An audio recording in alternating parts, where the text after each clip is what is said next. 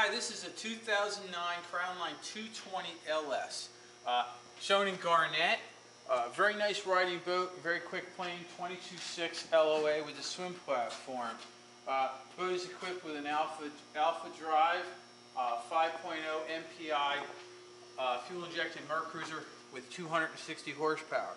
Uh, many standard features on this boat, including a stainless steel fold down four step ladder, uh, will make boarding easy as you're getting in and out of the water.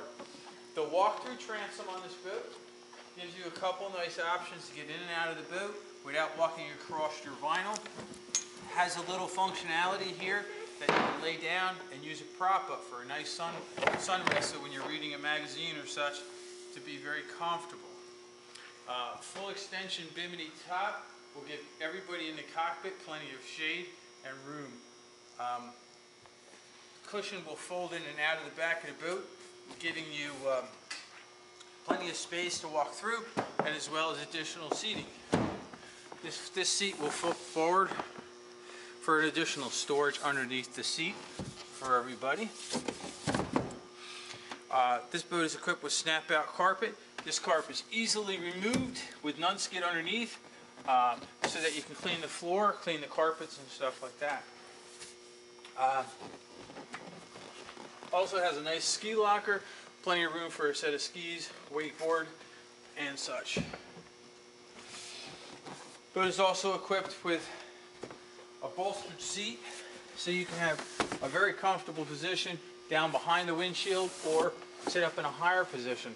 Uh, will be a, also standard will be a tilt steering wheel, give you that very comfortable position while you're driving.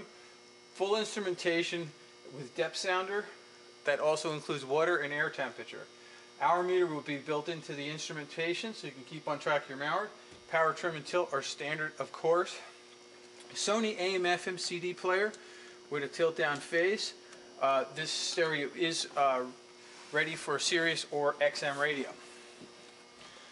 Have a nice little glove box, place to keep your wallet and keys and change where you're out in the boat. The stainless steel cap on this windshield gives this boat a really sharp appeal. Uh, very, very kind of sharp look to it. The windshield has a nice latch to hold it in place while you're riding and nice, very comfortable fit, very solid feeling boat when you're out in the water as you put it in place. Comfortable bow area. Oh, before I get there, let's go to the storage lockers, both sides on the companionway coming through. Nice solid stainless steel latches on those. There's a spot for a table forward or aft. We'll give you a nice place to have a drink or enjoy lunch. Um, comfortable bow area with plenty of room for your feet. You'll have storage under these forward seats that are all finished off and tubbed very nicely.